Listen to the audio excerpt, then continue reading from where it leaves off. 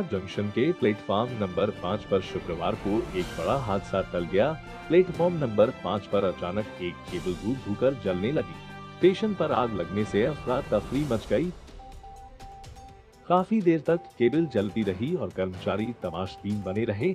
बाद में किसी तरह से इस पर काबू पाया जा सका। गनीमत रही कि उस वक्त प्लेटफॉर्म पर कोई सवारी गाड़ी नहीं खड़ी थी, नहीं तो बड़ा हादसा हो सकता था।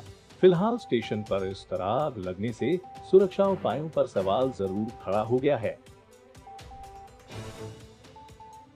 इस मामले की जाँच शुरू कर दी गई है।